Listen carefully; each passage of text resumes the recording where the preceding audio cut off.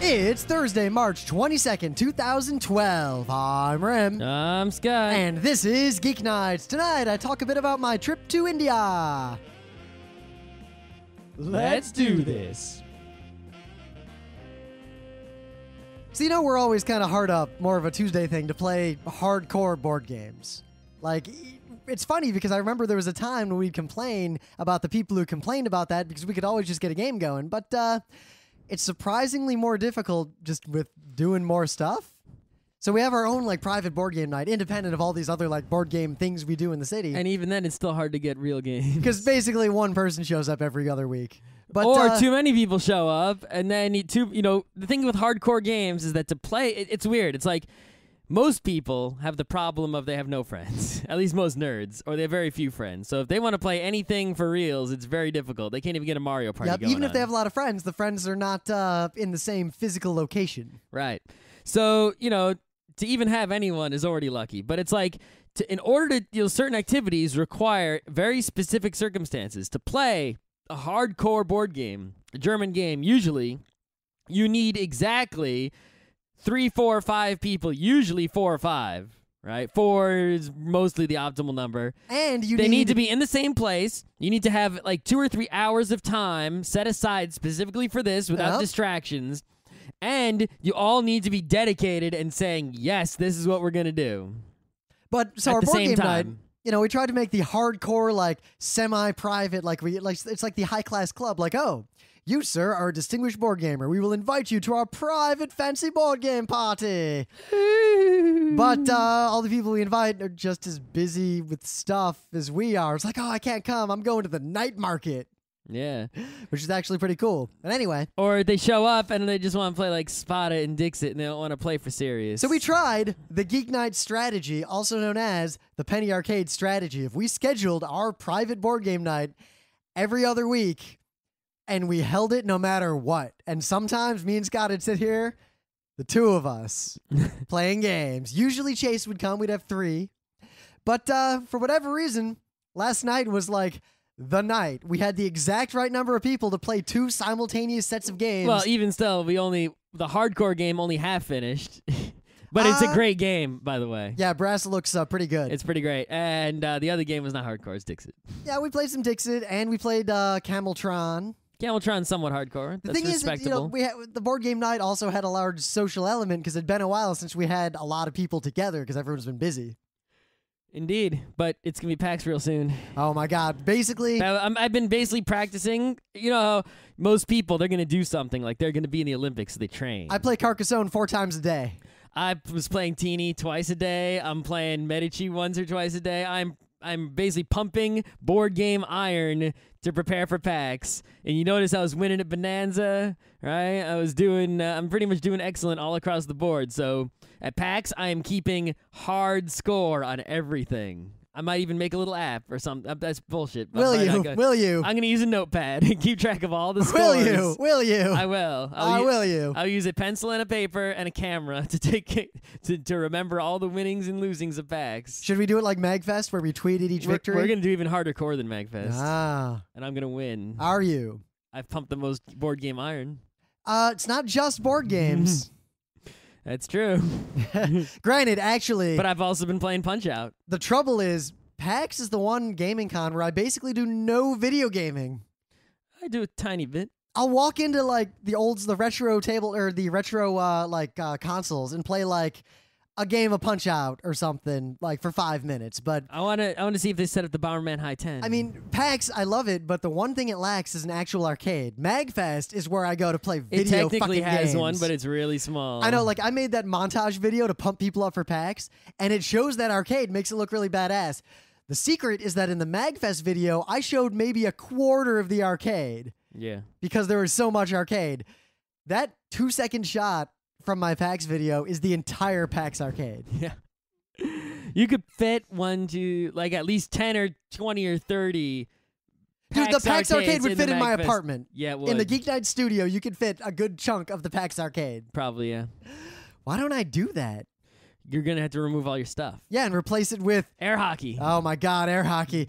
I would, if there were a time when somehow air hockey were the Omegathon finale, I might just have to rush the stage naked, challenging everyone. Do it. Oh my god. Oh, it's, it's all you. But imagine if we had an air hockey table. All that time we spend like laying around going yep yep. Instead it'd be click click click click click click click click click click until we were gods. I think I would finally master the two finger, which I'm worried about breaking my goddamn wrist when I, I would try to play watch so way. many YouTube videos and study every single aspect and all the minor, you know, like e- everything. You know what we gotta find? Let's try to find a bar in the city that has like a real air hockey table. All right, New York City air Photon hockey. air hockey. I None of that uh, non-regulation shit. Air hockey New York. Let's see.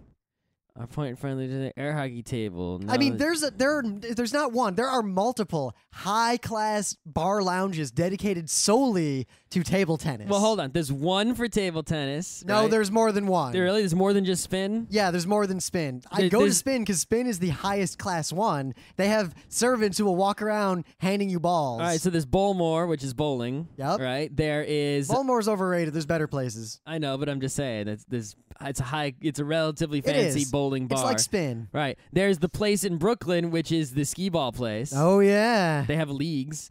Uh, there's Barcade, obviously, all right? But there is not an air hockey bar. If we had enough money to open a bar and get a liquor license, we could open up the air hockey bar and we probably make just as much money as the skee ball bar does. Easily. Perhaps more.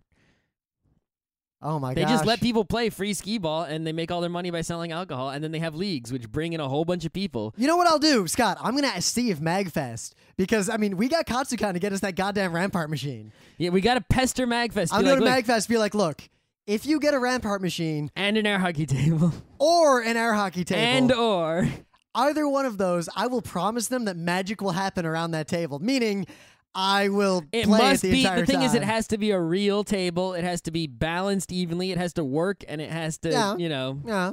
it can't be like damaged goods. I'm worried though. The reason I, I I almost don't want a Rampart machine to appear is that I've maintained my undefeatedness. It's it's like the only area I have left where I am undefucking feated. sure. If we actually have access to another Rampart machine, I were like the whole that whole Katsucon where we had it. I was so afraid I was gonna lose, and one game I almost lost. Well, you didn't. You you sort of avoided any game you might have lost. Well, no, the one game I almost lost, but Scott Johnson was pretty drunk, and he basically threw the game in my favor by accident. But there was this really good guy who almost beat me. I was so like, I But was, it's like you know, if we played it, it would, me and Scott Johnson would just walk up to it and be like, "All right, listen, Rym's bragging about it being undefeated. Team up on Rim. Okay, do do do do do do. We win. Uh, you see, you say that, but when we play games, usually what happens is you say that. And everyone and everyone kind of looks at you, and I'm like, Scott's just saying that to try to win himself. Well, you know that I would definitely not. I would definitely apple it up. I would not orange. And if Scott Johnson oranged, which he may well do, I give it a 50-50 shot. I do also. I would go and just get like Peter, someone who would not call orange. Do you think Pete wouldn't orange on There's you? got to be who would Pete not would orange. orange all over you. there has to be someone who would not Pete orange. would get his orange all over your business. Who would go all out and attack only Rym until he was dead to make sure that he Because was Scott, no longer even when you, undefeated at Rampart? it's one thing. Like last night, right? We had the board game night. I'll just pay some stranger. I'll be like, I'll give you five bucks. All you got to do is only attack that guy, and then once he's dead, we'll play you and me fair and square. I'll go to the guy and be like, 10 bucks, 20, 30, 50, 100. 200. Scott, I have more money than you, and this is this is one area that means a lot to me. Well, you know what? I would employ the secret technique, which I will not reveal. uh, punch me in the face, hack the machine. Something along those lines, like put my hand over and spin your trackball around while you're trying to Scott's place fastest pieces. ramparting strategy. Hit your start button, hit your buttons a whole bunch to place pieces. So last night, right? You know, this is why Slam, drop my fist on your hand and smash it against. Scott, the there's a reason you're never able to pull the everybody fuck Rym off, and yet I'm always able to pull it off on you. People are dicks. Not enough people will listen to this episode from Tuesday to know that I said this, but look at last night, right? Our friend Kat was playing the Cameltron with all our other friends, and not, they all learned the game. And they're playing, you know, as derpily as first time players can play. But Kat had to go outside, so she couldn't finish the game. So I took over for her, and I sit down, and I look, and she's actually in a really good position. So I immediately sit down and say, "Oh, all right, I got to figure out. If, oh my God, what was Cat doing? Oh my God, I can't win. Look at this. Look at that camel doesn't have anything. Ah!" And I bitched about it for like ten turns.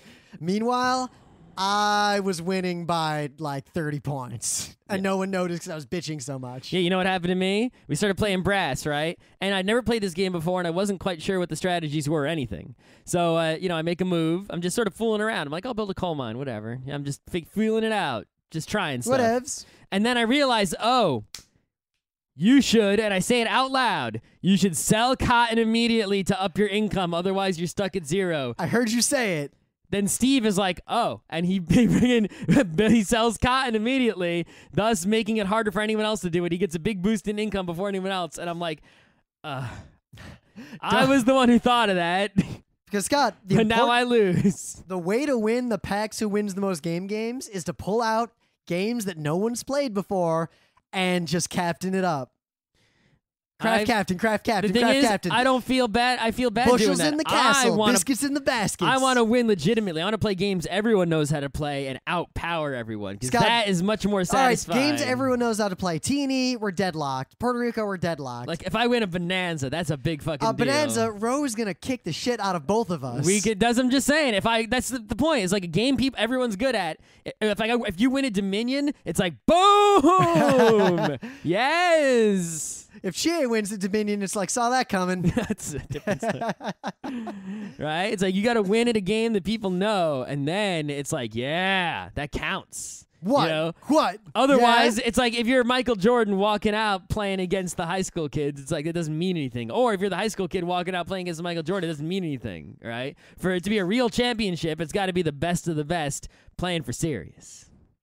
So, a little bit of news. You know, it's Thursday. It's the lounge. you and your lounge. Talk about whatever we want. You know so, what's in my lounge? Air hockey table. there was a pretty good article in the Atlantic, actually, and I want to call attention to it. I won't talk about it a lot, but uh, it argues that the Daily Show, of all shows, you know, people always say the Daily Show, you know, provides more news to people than it should. Be, you know, people watch it to get the news, even though it's a comedy show. Mm. Uh, it is interesting how like vaguely obsessed Fox News is with the Daily Show when the Daily Show is ostensibly comedy and Fox News is ostensibly news. But I digress. That's this isn't new news for any of you.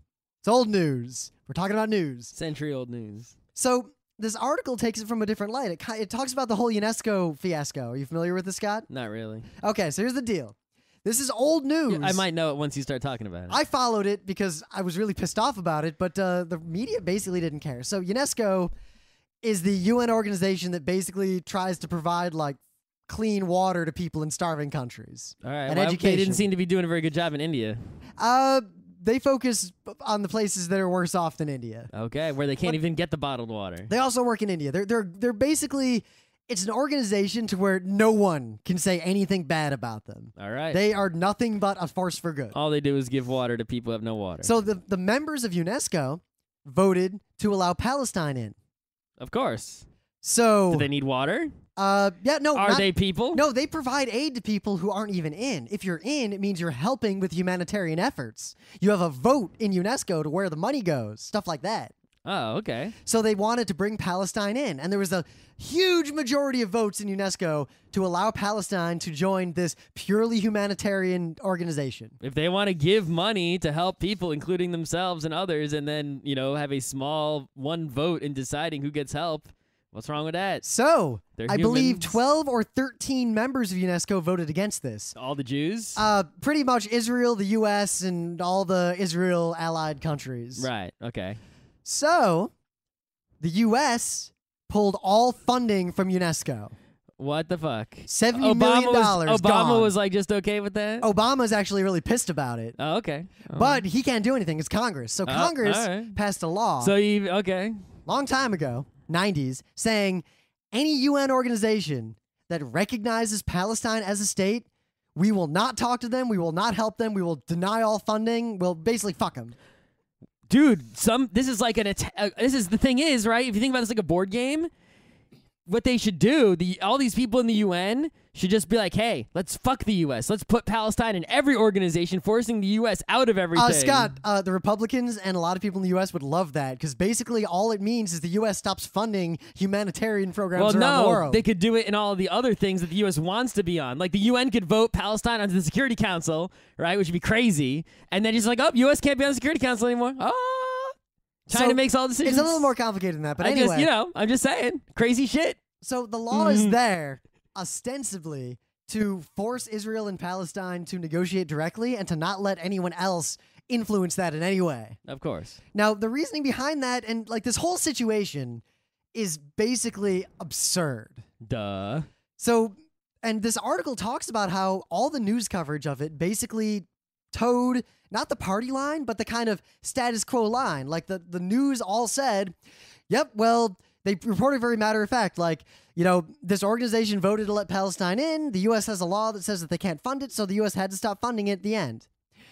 So the the Daily Show did like a double feature on how bullshit this is. Of course. It's like this is one of those things where it's like, oh, there's a rule that the US can't do it. It's like uh, a rule is just something that's made up by people. Uh, no, you can just Scott, fucking change It's that more than it's a rule made up by Congress that they can trivially change. So- Right, you can so just change that shit. John Oliver It's not like the law of thermodynamics you can't change. John Oliver on the Daily Show interviewed a senator and was like, "So we can't do anything about this." The guy's like, "Yeah, our hands are tied. We can't fund them." And he was like, "Because of the law you passed." He's like, "That's right." It's like, so Congress doesn't have the power to change laws. That's good to know.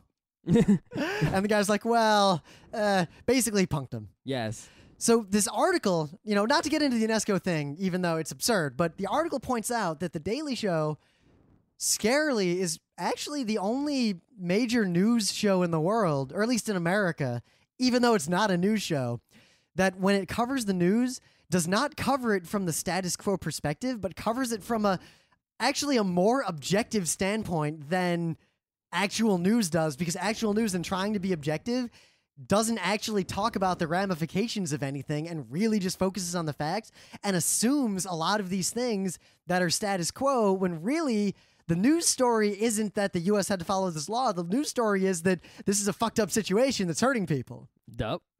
And it's actually a really great article. And But the- that's why the Daily Show's comedy, right? Comedy is truth. Have you read friggin' Stranger in a Strange Land or not? uh, or perhaps uh, the court jester is the only one who can call the king fat. no kidding, right? Except we live in a place where there's free speech. The news could call the king fat, and the king can't do shit about it. The news just doesn't. Why don't we just start a news where we say that we have the same smart perspective, but we don't present it as comedy, and we just put it on YouTube every day? We'll do one news story. Let's put that in the hopper with the other The thousand other things in the hopper. Why right doesn't after someone listening to the show just do it? We don't care how shitty it is. It could be like elementary school Let's see. CCTV news quality. we it have doesn't Project matter. Scott, we have Project ST, Project CRL. They're all Project ST. we have Project But PTI. anyone out there who's got a camera, just sit in front of it every day, pick a news story, and just be like, today, you know, UNESCO, whatever, funding cut because of this rule. The government is stupid and they could just change it, but they refuse to. In other words, all your congressmen are basically taking, you know, clean water out of the mouths of starving people. They're disgusting. End of story. So this is an interesting article. I highly recommend you Mm. read it. Great. Uh, So, you have anything? Oh, I did. I remember my news now. I didn't have a I didn't have a link open for it, so I couldn't remember what it was. So check this out. There's this crazy dude, and he went to a casino. Now, usually going to a casino is not a good idea, right? It's a way to lose all the monies because casinos, the house always wins, always. And he, you know, there was card counting at one point, but today card counting doesn't work, right? Forget it. But this guy, he was, you know, big time gambler. And apparently, I wasn't totally aware of this, but if you're a big time gambler, you don't just walk into a casino and play. You talk to the casino, and because you have so much money, they talk to you. So, like, if, you and me walk into a casino, you know, you walk over to the craps table and it says like 5x. You can't change that. That's just the rule for the game. And if you don't like the rule, you don't play there. If you're mad rich, you can walk in and be like, hey, can you set me up a craps table with these rules? And they'll be like, well, actually, we don't like those rules because then the house doesn't always win. How about these rules? And you can negotiate on the rules and like how much money you're going to spend and all this stuff. So this guy went in and he negotiated with these casinos. And by the way, the casinos are the desperate. Like actually, Foxwoods is even in big trouble because you know there's basically this more casinos. The love's getting spread around. There's online poker and stuff, right? So casinos are not doing well lately. So they're basically more desperate than ever to to get people to come in, especially the high rollers, because you know a whole bunch of low rollers. You know, a bus full of people coming from the city isn't gonna. Well, it's old ladies nickel at a time. Right. You and if you want to, you know, but one high roller, if he comes in and loses all his monies, your casino's good for like a whole month or two. So it's like, yeah, we need that. So they're desperate to get this guy in the door. So, you know, the guy's figuring out which casino he wants to go to. So they're sort of competing as who's going to set him more favorable rules to get him in the door. They also actually are not technologically stupid. They actually have this computerized system that works and is good where they can type in the rules like guy wants to play blackjack with six decks and wants to allow double splitting and wants to allow this and that rules for this minimum bet on this and this. And then it'll pretty much tell the casino owner, you know, once he types in those rules, thumbs up, we'll win, or thumbs down, no, this is a bad idea if we let him play this game, right? So apparently, whoever was at this casino totally fucked up and didn't use the software properly, or who mm-hmm. knows what. And they basically let this guy play at what was almost like 50 50 odds on blackjack. So he walked in with like, he's mad rich. So he was just like, million dollars. And he got mad lucky and he got like four eights and he split it four ways. And there was also some weird rule about like, you know, usually in blackjack it's like the the the house like has to hit in a certain situation and has to stop in a certain situation and it's usually the same rules all the time. Yep. Those rules were even different in this game. So it was basically a situation where like he had four hands and the house went over and it was like, oh, one hand with millions of dollars. Ah, ha, ha, ha, ha, ha. And it- this guy just It's a pretty good story. the dude freaking rolled the casino without cheating, right? Without cheating. He didn't count the cards. He was just played blackjack smartly and normally and had the rules of the game changed, but the casino agreed to it. So uh, this is just another one. I wanted to bring this up though because it's not, you know, it's an example of smart nerdiness. A guy knowing the rules, doing the math, using his smart brain to get ahead, right? Which is which is laudable. But it's also a uh, another example of if you want to get more rich and you already are rich, it's real easy, right? But if you're poor, you can't get more rich as easily as someone who's already rich, even at the casino.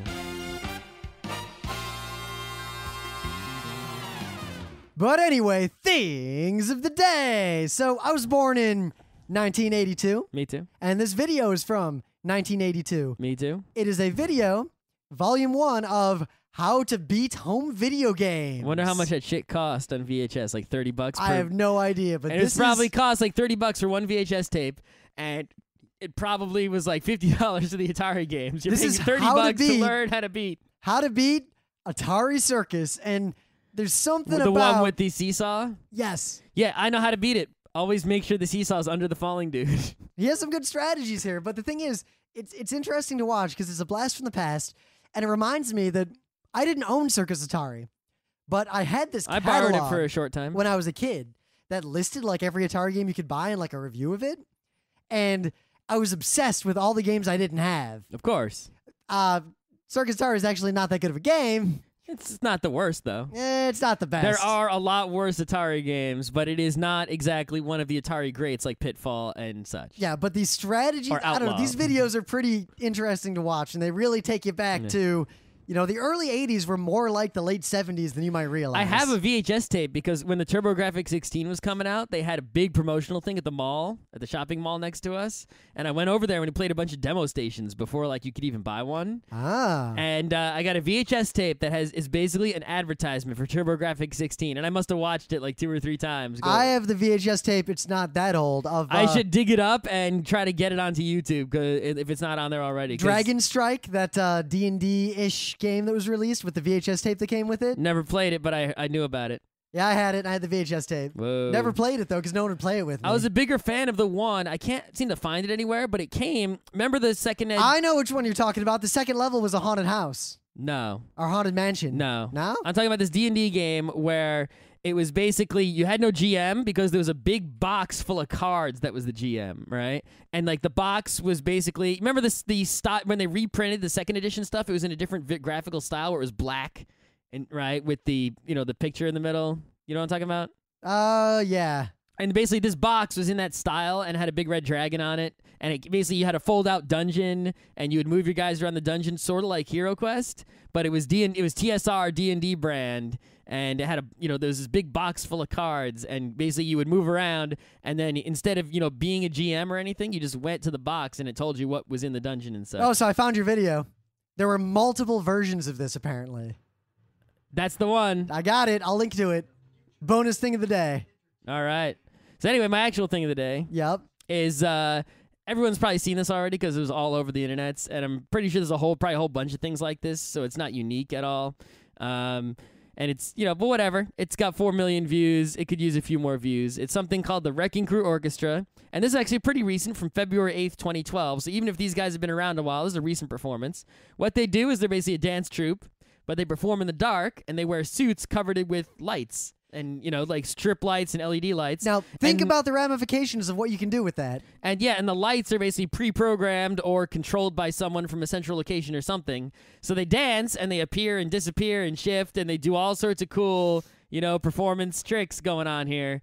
Uh, and it is fun to watch. I mean, it wouldn't probably be fun to watch like you know a whole bunch of these, but watching one if you haven't seen one is really awesome. And if you've seen it already, all right. If you haven't seen it already, must see. So in the meta moment, uh, two weeks to PAX. Shit. It's a coming. We're doing a whole bunch of panels, and a bunch of our friends are doing a whole bunch of panels and workshops, and playing a whole bunch of games. we're do we're gonna be at PAX in force. Pretty much, we're. I got to apologize. PAX fever is in full effect as it is twice a year. Maybe it'll become three times a year. We have no idea. Well, there's a cure. If you are so PAX? hyped about PAX that you can't get over it, I'll link to a video. I made a montage of how awesome PAX was PAX That's East last not- year. And if you watch it, it might excite you so much you'll die, and then you won't have to worry about it anymore. Just say- yeah, it's like it's not gonna help. That's only. I know. I was That's like hmm, cure for AIDS, well, like last night. unprotected sex with someone with AIDS. Last night during the uh, board cure game for night, flu. we were talking about ponies, and I was like, "Oh, there was a bunch of ponies at PAX." Yeah, it's Now- like and they were going like- outside in the cold naked. That's a cure for flu. They were like, "What?" I'm like, "Yeah." So I pull up that montage video and I skip to where all the pony stuff was, and then I'm like, "Oh shit, PAX! Oh shit, PAX!" Uh, you want to make predictions now as to what the Omegathon is going to be, or save it for Tuesday? I'm gonna. I'm sti- I told you, I'm sticking with because they they already said It's East, they so it's going to be teams most it's, likely. It's East, so it's co-op, guaranteed. And you know they had to have something built. I'm going this. with Double Dare. Uh, It can't be double dare. Why not? I'm- It could be the Double Dare uh, challenge at the end. I am thinking. Aggro Crag. No, I'm still going with my Rock'em Sock'em robot until you know it is no more. Scott, right? you know what would be the ultimate? I realize as I'm much not- as I want, you know, the Double Dare, the Aggro the Crossfire. Crossfire, Crossfire, You got it in the Crossfire.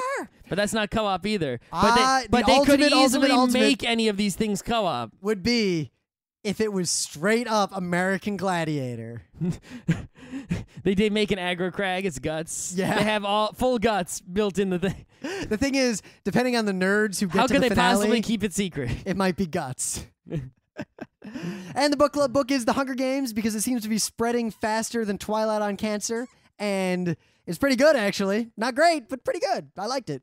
Mm. So we'll we'll do a show on it whenever. Yet I haven't read it yet, but I have a copy. And but people say that it's basically battle royale, the ripoff plus some Arnold Schwarzenegger Running Man. Mixed Ends in in there. 1984. Yeah, so that's what people It's say good. about it. So maybe that maybe that sounds good to you.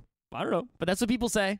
Uh, it exceeded expectations by a by a surprising amount. I'll, it'll probably actually be a soon book club because once I actually start reading it, it shouldn't take very long at all. Dude, it's like a two and a half hour read. Right. So as soon as I actually get around to it, it'll be like bam, and we'll do this book club right away and get a new one going. It'll be much less weight than the previous book club, which took a while. ConnectiCon is coming up. We run the panels and workshops department. Uh, if you submit a panel, I will link to the form, and you're a GeekNights listener. There's a good chance you'll get one because you guys give us some of the best panels we get normally. Nepotism. but yeah, submit your panels. It's not nepotism. They're not in our family. Uh, they're uh, they're an extended family, the GeekNights family. Sure. Yeah. Uh, we got an internet, we got a YouTube channel, got a website, got a forum, all that stuff. It's all there. So it might be kind of a cop out, but I figure I'd just talk about, you know, my experiences in India because I'd never been to India before. All right. Do you want to get any sort of uh, prejudiced, racist out of our system now? Like, oh, Dhalsim, great tiger. Oh, so basically when I Hello, was I am Apu. Thank you. Come again. everybody breathes fire. In I'm fact, sorry, if you get everyone food from fr- If you got food from a street vendor, he breathes fire on it before he gave it to Yeah. you. I'm sorry, everyone from India. I'm sure that when you can do a show about your trip to America, make fun of us, please, because I want to hear that. Actually, the best joke someone made, and it was actually an Indian guy that I was hanging out with while I was there, Alright. was like, Where are all the Native Americans? I heard there are many of them here. he was a funny guy. Yeah. he was one of my cab drivers. he tried to do too much with it. He was the same one who was like he was he was really proud of the slum. Like in a, kind of how like in America, like if you're showing someone around New York, you'll be like, "Yeah, that's a New York bum. Check him out." Or that see how there's no one in that subway car. Yeah, it smells this guy like was pee. like, "That's our slum. There's at least two million people in there. Yeah. It's pretty big." And he's like, "You want to take a picture?" Like he was really just like, "Check it out." But anyway, I, I was there on business, so I actually didn't get to do I- like I kind of I had evenings and a couple of times to myself where I could like wander around, but I was actually mostly beholden to a whole bunch of kind of corporate style meetings, and I had to go to this conference there, like a convention, and deal with uh, you know booths and stuff. But uh, it was the first time I traveled extensively on uh, corporate money as opposed to my own money, and that's a very interesting experience. It's the opposite of like we go to a convention and like ten dollar hot dog. You're like, are you crazy? Now it's like ten dollar hot dog. Who gives a shit? It's not my money. I want a hot dog and I don't want to walk anywhere. Give me. Even better, what's interesting is that when you're in this position, you're kind of obligated to take other businessmen out to eat and stuff like that. So you basically, it's expected that you're going to spend a ton of money on like room service and cocktails and all that kind of crazy stuff. But uh, I'll try to skip the businessy stuff. But uh, I flew to Mumbai. Uh, you may know it as Bombay. Now, what's interesting is it's Mumbai. That's the official name of the city. That's kind of like what you're expected to say. That's I, what's written on all the things. and I'd gotten the impression that everyone called it Mumbai. no, they say Bombay. so when I got there, the only people who said Mumbai were foreigners and rich people. Yep. And everyone else that I met called it Bombay. Yep. I've heard that already. Yep. But what's really funny is we got to meet some executives from the uh, Bombay Stock Exchange, the BSE, which they call it the BSE now because they don't want to change the name to the Mumbai Stock Exchange Mm. or change the acronym or anything because imagine how much of pain in the ass it would be like if you have all these like network things name something publicly and you have to like rename everything like imagine if you had to rename all the variables and class names in your code because of some bs hmm so uh, but the cool thing was It's called sed. yeah but that may or may not work well depending on You got to do it right. well one of the worst things in the Grep world first. is when you're trying to fix some code and you find out that the name of a class was actually spelled wrong in the first place That's like the worst. But I digress. So, you know, we we uh I got to meet like a bunch of people who run the, the Bombay Stock Exchange and we went up to their tower and I realized at the top that it was really the only tall building like in that area of Bombay. And the guy introduces us and we realize we can see like the entire city out these windows. And I look and I see all this military stuff. He's like, "That's the entire Indian Navy. Don't take any pictures. We'll get in a lot of trouble." Mm-hmm. And apparently, after the Mumbai terrorist attacks, and you know, India's got some problems, like many places in the world do. So they're- you're not allowed to have tall buildings in that area because you can basically spy on the military, and the buildings are targets for attacks, which is actually That, a concern there. that reminds me of this dude. He uh, there was a photo an astronaut posted, and he it was like, "What was the craziest thing you saw from space?" And he's like, "Look at this!" And there was like this line on the Earth, and it was this glowing line, and he's like, "That's the India-Pakistan border." It's a glowing line, like you can see it from, like you can see it more easily than you can see like the Great Wall of China, which Actually, the Great Wall of really China see. is one of the hardest things to see. It's right. not visible from it's space. right, but the the you, like you could clearly see this thing. It was like it looked like a, a string of light bulbs that was just ridiculously long, and I was like, "Whoa, that's for serious, yo." So by law, you, you, can't, really see the. I mean, there's other you know contentious borders around the world, but you can't really see them from space like you can see that one. Well, you can see the implicit uh, North Korea South Korea border. well, that's different. You can just see that because it's at night because it's dark, and then South Korea actually has lights. So they can't have legally tall buildings there. But the government was kind of smart about. it. They're like, yeah, we're not going to make you tear down the only already existing tall building. Don't let people take pictures of the Navy. You'll get in trouble. Mm-hmm. But it was a really great view, and I wish I could have taken a picture. It was really. You should have just taken one illicitly and then posted it anonymously on like Imgur or something, and then been like, ah. Yeah, I don't want to deal with that, especially because I may or may not be trying to do business with the Bombay Stock Exchange. No, you don't. You just don't post it until the business is done. You obviously wouldn't go home and post it immediately. Then they know it was you. You do it like months later when uh, it could have been anyone who visited in any of those months, or even like a year later. Nah, because think about it. So I take a picture of the Indian Navy, right? Mm-hmm. Say the picture gets out and there's some bullshit. Some Navy intelligence guy over there is going to look at the picture and be like, all right, these are the ships that were in port. So we know Didn't he say it was the whole Navy? Uh, well, no, that's the Navy port. Like, I'm sure a ship or two were out, you know, doing stuff. they Ah. move them around in the port, Oh, okay. but it was, it was a really impressive view.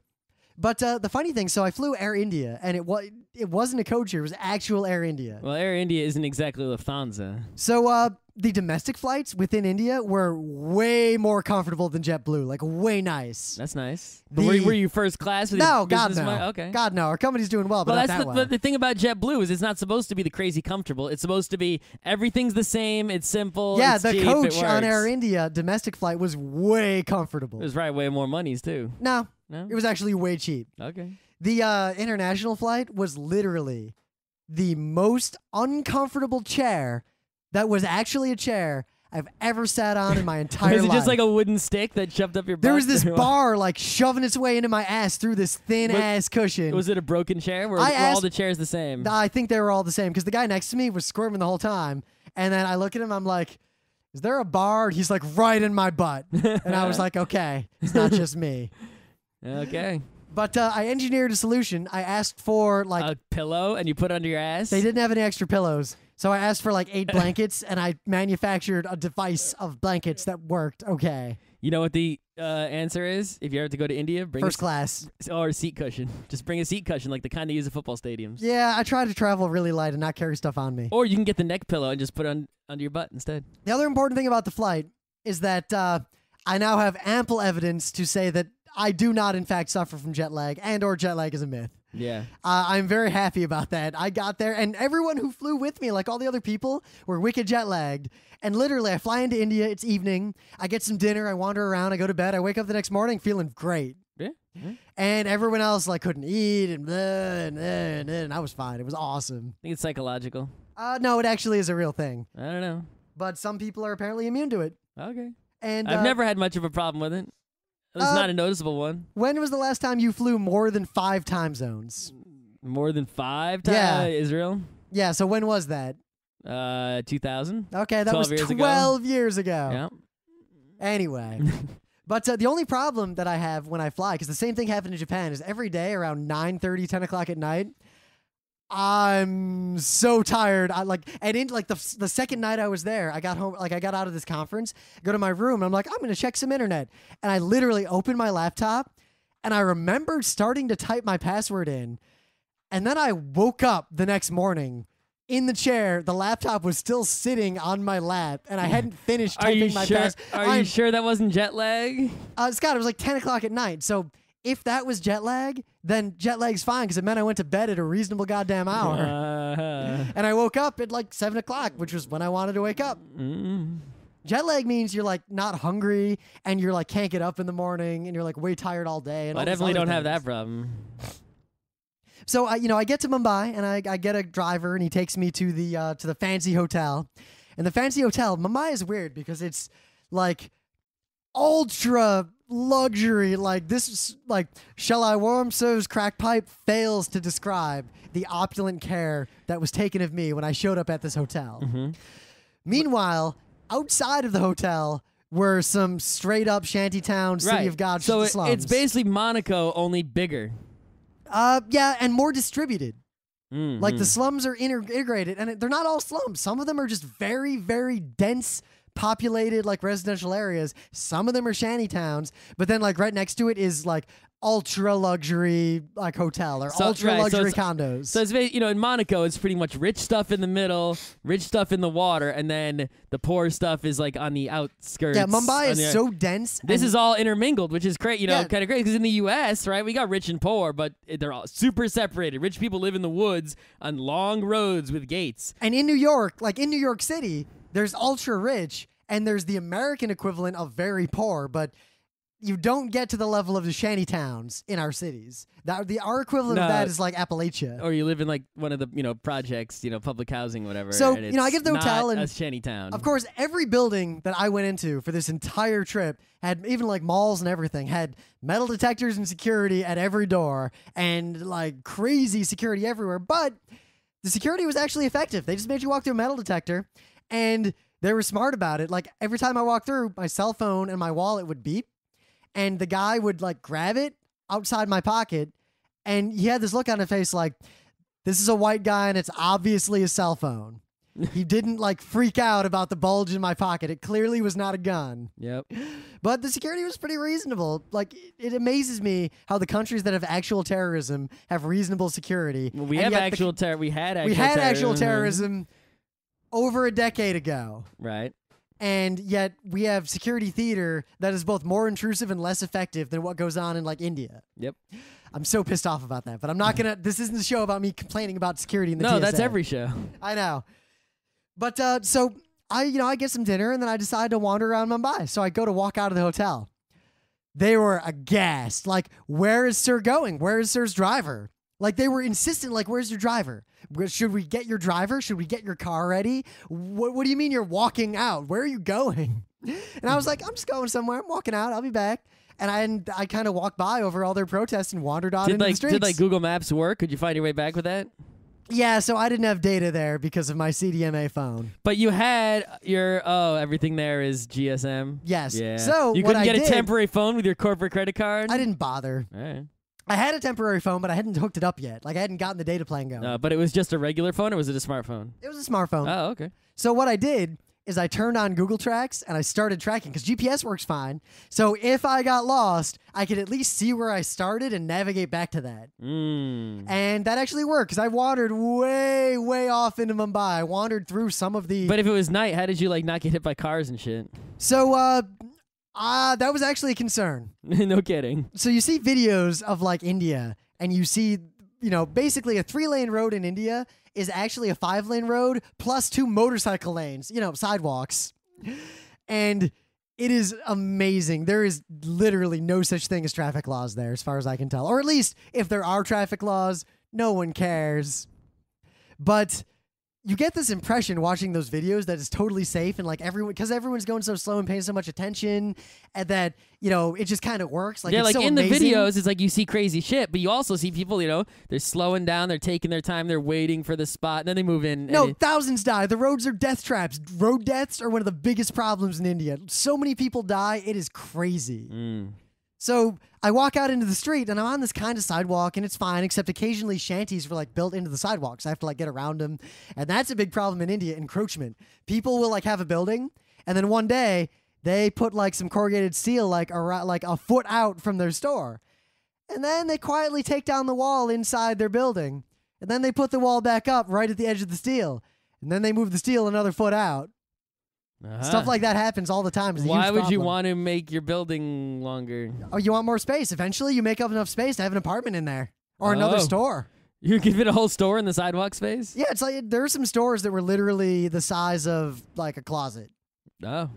Okay. that's just how it is it's very very very dense Mm. i mean india's this, a, a nation like of more you than a billion people It's like if you can get a square inch, you're good. yeah Yeah.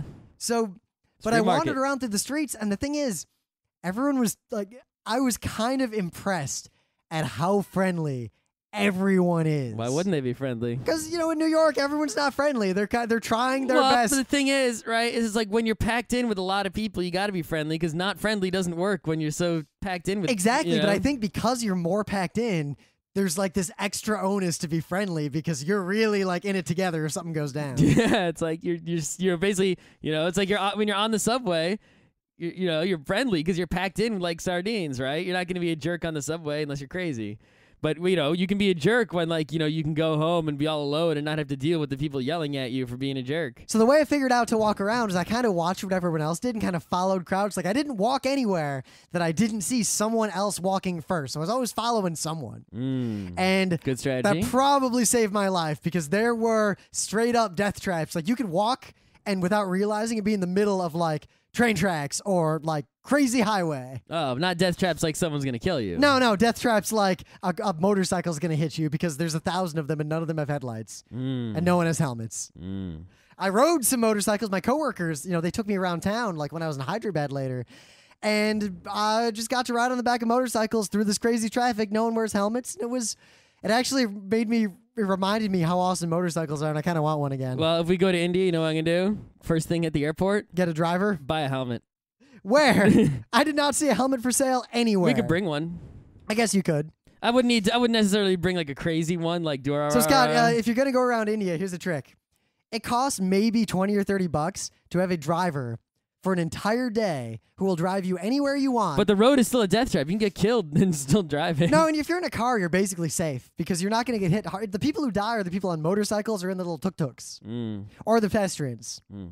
But uh, in a car, you're safe. And for like 20 or 30 bucks, a guy will drive you around all day, wait for you anywhere you go, take care of all your all your like baggage and everything. Man, the cars must be cheap or what? Like, what kind of car is this? Well, because the exchange rate is interesting. It's about a thousand rupees. Like a thousand rupee note is like a 20. okay, Twenty dollars. that's not bad. But the prices, because the like half the country, like the country is modernizing so quickly, and yet there's this huge like mass of population that the disparity between rich and poor and the economies of these different areas are diverging so rapidly that in the five star hotel, I dropped the equivalent of like a hundred bucks on dinner.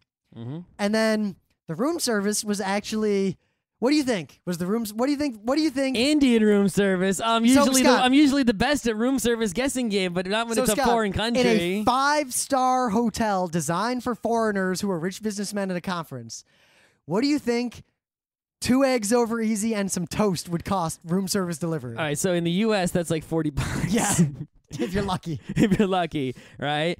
Now, because I'm not gonna, it is a five star hotel and it's fancy, so not gonna be like one dollar, right? Yeah. And I'm not gonna, it's got to be more expensive than like the diner here, which is like five bucks. It was cheaper than the diner. It's got to be like room service was cheaper. It, It's it got to be like seven, eight, no, nine. Scott, I used the mini bar in my room because it was cheaper than what I pay for some of those things at a convenience store in the U.S. Are you kidding? me? Oh my god! I got. I, I opened it. I was. I wanted a Red Bull. Like I really needed some caffeine. they had it there. there was Red Bull in the mini fridge, and I'm like, and I pick it up. I'm like, all right, this is going on the corporate card, but I'll get in trouble if I have a ten dollar Red Bull. of course. and I look at the sheet, and it's like a dollar seventy five. I'm like, what? You should have What? just asked for a case at that price because they're, So- t- they're two bucks here. I know. You should have been like, hey, how many Red Bulls can you guys get me? But yeah, room service is way cheap. But like outside, like I went to uh, a restaurant, like a normal restaurant, to get uh, dosa, which is basically like a crepe. It's the one Indian food I've never really seen in the U.S., but it's what everyone eats for breakfast. It's like a crepe. yeah, was the Indian food there? Like, is our Indian food like the way Chinese food is, where it's not the same, or is it the same stuff? Like, you know, it's actually well in New York it's actually mostly the same other than that the meat there was so much more tender the land like I Mm-hmm. well, got I mean, I imagine there's less food regulations and things. uh, yeah right? but here's the thing the the most of the places I ate at just because the nature of my travel were like ultra fancy five star restaurants Right. so it's hard to compare because I was having the five star Indian food versus the three star equivalent in the U.S. All right, because yeah, when we get Indian food, it's just like regular restaurant. We don't But- go to the five star Indian restaurant. So that really good Indian place we always used to go to in uh, Fishkill, right? Mm. Uh, the meat was a thousand times more tender than that. yeah, I bet they just probably like since it's a five star restaurant though, and it's in India, they probably just like you know they got that tandoori rocket. They really like, care about the chicken though. When I was in Hyderabad, there were so many like stalls, like a shop that was like, "Look at our chickens. We take awesome care of them. Check them out. Here's some of them. Here's why our eggs are so great. Here's videos of how we take care of our chickens. Like eggs are a big goddamn deal." Well, with so many vegetarians and such, right? Oh, You so know, it's cool, And you the know- culture there. So it's like if you're gonna eat meat, it, you know, people are only, you know, a lot of people probably won't eat the meat unless it's like the awesome so in. America, right? It's like smoking or not is like the question you get in, I guess, backwater shitty places in the U.S. Mm-hmm. Because you know that's gone in modern places like New York. Yep. But that question, that equivalent in India is basically veg or non-veg. Mm. They'll so everything you get from fast food everywhere, like McDonald's, there has veg and non-veg options for everything. KFC has uh, ha- half the menu is vegetarian, Mm. and actually KFC there was pretty good.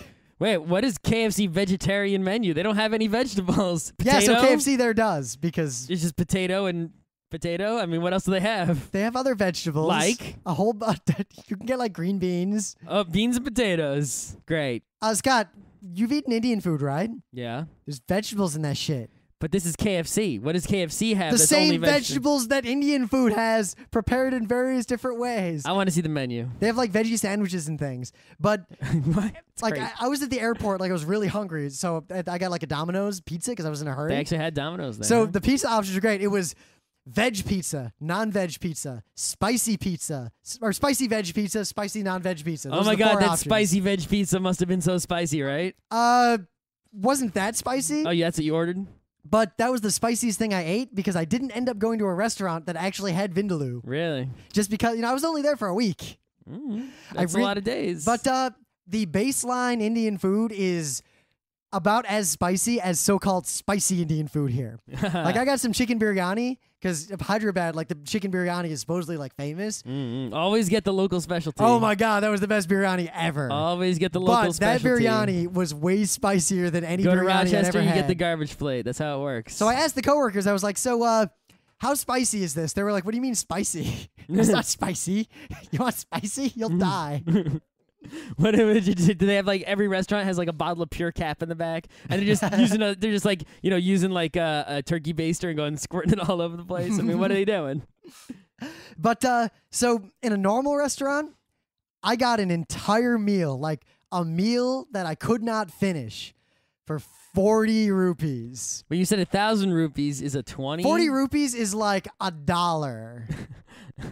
Okay. Yeah.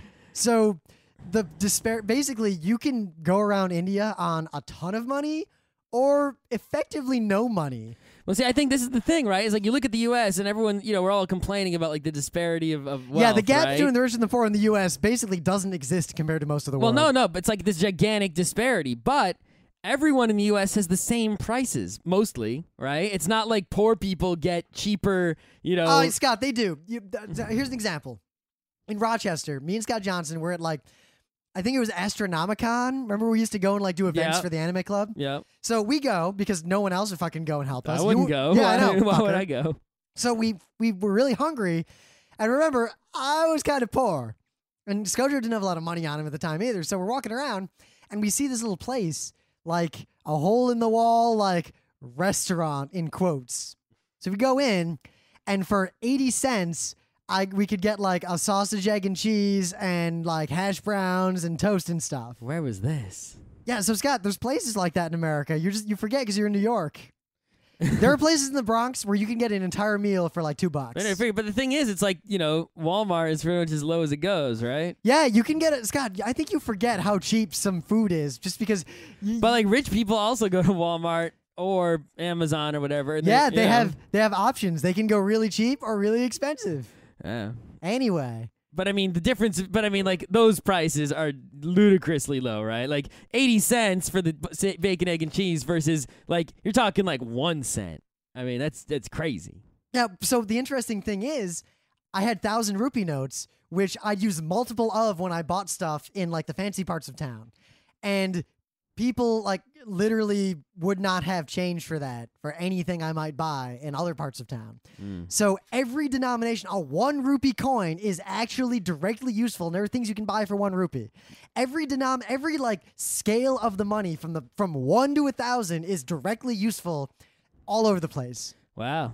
So and one rupee is the lowest, right? Like they, I would don't tip, have pennies. like it's just some people, I would right? tip like five or ten rupees, and I would buy like snacks and drinks for like twenty rupees. But then I'd have a dinner for like seven thousand rupees. Okay. It's like Link. I actually have. Uh, Do you have any big shields? I actually have about 10,000 rupees with me because I didn't change it back yet. well, you can just change it over like any place. well, I'm Grand waiting because Central. the rupee is actually pretty low right now. So I'm uh, Oh, gonna so hold you're, out. you're, you're holding your weight. You're playing the market. I'm playing the market. You're waiting for the ten thousand rupees Partly to be worth because more. I'll so you can- probably go back to India in May or June, Oh, okay, that's which fine. apparently is the hot season. It was like 95 degrees there while I was there. Oh, baby. and that's the cold season. Did you see any bicycles that weren't motorized? Uh, yes, I saw a lot of mountain bikes. Okay. N- I saw one guy on like a road bike, but everyone was riding like mountain bikes. But The Lance Armstrong. well, everyone India. who was biking, pretty much everyone was riding motorcycles or Vespas or scooters or things like that, or little tuk tuk, uh, like pseudo motorcycle cabs. Mm. Ah, so uh, Mumbai was awesome, like walking around. Though, what's interesting is if you go to the districts where foreigners might go, like in Hyderabad, we went to like a whole bunch of like I saw Golconda, which is this ancient like uh 14th century, 13th century fortified city that is in ruins. Nice. It was I like actually the, you know, I like the old shit. yeah, I got a ton of pictures of that. And two of my awesome coworkers like took me around and they were like explaining stuff. We went to all these temples. We, we did the, the touristy stuff. But because they're locals, like they knew the worthwhile touristy stuff versus the stuff that's not worth bothering to see. So I got a really good like and they were explaining stuff and what was interesting is in when I was walking around like a shanty town, nobody bothered me at all. Like I wandered into what the average American would probably fear for their lives, but really everyone was just kind of chill, living their lives in there. Yeah. But no one bothered me. But in the tourist areas where foreigners might go, it's kind of sad, but I literally there were beggars like clawing at my clothes and like grabbing me and like demanding money and like putting their hands in my pockets and just like they were pickpockets and it was it was crazy. And th- basically my two friends the coworkers followed me around and were like at one point pushing beggars away from me and like shouting people away like leave him alone. He's not going to give you any money. We're, we're not going to let you rip him off in Hindi, like they're just yelling at these people, and like keep them away from me. And it was, it was an interesting experience, but it was kind of like scarily stereotypical. Like it's, it's the kind of thing I didn't really expect to happen, and yet it actually happened exactly like it does in the movies. Yep. But I got to see like the gate of India. You should watch the Galaxy, the relevant Galaxy Express Yeah. episode. or the, uh, the the train station in Mumbai is like from The relevant Galaxy Express episode. from the colonial times. It is opulent, like it is as beautiful as Grand Central, but in a very different way. well, the It- British made it, right? it is an wasn't- amazing building. it- you know, like extra amazing. But in the touristy areas too, and I actually have no problem with this. Like a museum I went to, right? It was five rupees for anyone who was an Indian, a Pakistani, and there's like a list of other countries. Really, even in Pakistani. They Yeah. I thought they hated them. No, actually, the average people don't care at all. They really wish, like, they're actually really chill about the Muslims. There's a huge Muslim community in India. hmm I know that. Yeah, but like that slum, like the like the one slum that I saw that the cabbie was talking about, two million people live in that slum, and apparently it's like ninety nine percent Muslim. Okay. But uh, But like that that number of rupees to get into the museum, that's like it might as well be free. so It's like it's, it's like a penny. five hundred rupees for anyone else. So that's still almost no money. Yeah, so I paid ten bucks to get in, and a poor Indian or a normal Indian can pay five rupees to get in. It's the same as the New York museums. I go in for free. well, I go in for a penny, one penny, just one penny. You know that guy? Yeah, but the you know the tourists basically pay the tourist tax. I'm okay paying the tourist tax. Yeah, I mean, like you know, if I'm in New York and I want to go to the museum, I pay one penny. If I go to some other place and it's not free museum day, I pay the suggested donation, whatever, because I'm not paying for it with taxes. Yeah. Right? It's not, you know, it's not like unless it's a federal museum like Smithsonian. Then I'm not paying. I'm paying the minimum. Yep. But like the ruined city was really, really interesting. Partly because it wasn't curated in the same way. It's kind of like how everyone says if you want to see Greek ruins, go to Turkey Mm-hmm. because in Greece they're curated differently, and or you know the city's kind of built up around. they didn't have like little description plates on them. Nope. like, it the was just it was just here's a gigantic old ruined city fort. Uh, wander around, check it out. There aren't like ropes preventing you from Nope. touching shit. Nope. Or it's And- not like don't sit here. And, Nope. And uh, I hate to say it, But doesn't that make people ruin it? no with their because people- touching? no, well, it kind of does. It's getting more ruined as time goes on. Of course. But it was actually really cool. Like we just kind of wandered around it and like poked into these buildings. Yeah, it's always it's you know it's always like a tough trade off. It's like you want to preserve this really old thing so more people can enjoy it, but you could also give up some of its preservation to have the people who are enjoying it now enjoy it more. I think you have to have a You balance. know, it's like you know, and it seems like you know we got two extremes, but it's like, well, what can you do that would be a balance? It's like, well, some museums in the U.S. were like, okay, don't touch anything. Here's one spot we want to let you touch, and it's like, uh, Yep. it's- Of course, that thing gets touched to death. And is covered in exactly, because you, horrible get all the touching is concentrated in one area. No area. touching. No touching. Right? It's like instead of having the the touching spread out over the whole thing, you concentrate in just one area, completely destroying that area 100%, way faster than any of the other areas. So apparently, Golconda though is this huge like fortified city with a big wall around it. Then another I'm sure wall. it has a Wikipedia page. Yeah, but it, the, the neat things about it were it had this system where you could say things or clap like way down at the gates, and you'd hear it all the way up at the top in the throne room. Whoa. So they could warn like, "Hey, shit's going down. Go hide." Whoa. Yeah, like really. so did you stuff like, like did that. like did you go to the throne room and one of your friends stayed at the front and you played a little game? Uh, I just went up there and listened to people doing stuff down there. We didn't actually play the game. Ah, Because otherwise, there were people who were trying to grab us and give a free, like, give a tour. Like, hey, I'll show you around. Then at the end, they were going to demand money and make a big scene. Mm. Yep. So we had to avoid those people like the plague. Mm-mm. But uh, and also there was a tunnel. It's gone now. Like it collapsed. I think hundred years ago. Too many between. Golconda and Hyderabad, the city itself. And apparently So apparently, you could escape? yeah, the rulers would live in the city.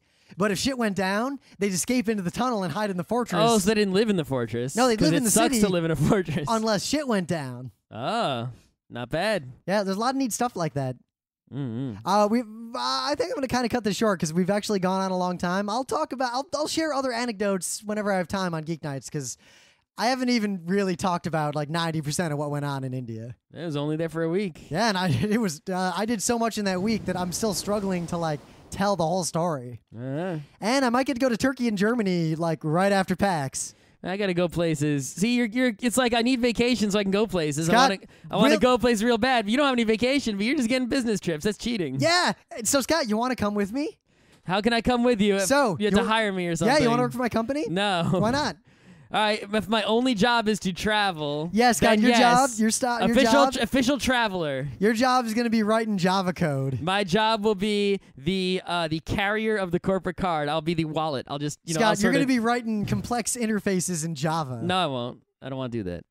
But then you'll get to go to Java. No, I don't want to do that either. I, I just want to go to Java without writing any Java. PAX is coming. Yeah, going there.